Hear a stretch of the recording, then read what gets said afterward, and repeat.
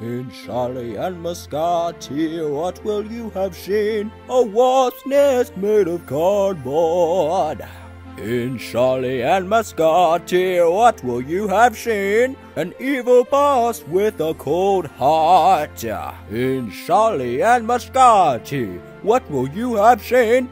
A wimp and a simp, an evil person boss. A Christmas, I think not. It's really not a lot, but it's really hits the spot. If your comedy taste buds had a bad day. Make sure to check out Sharlie and Scotty, a puppet show made by yours truly. Ow!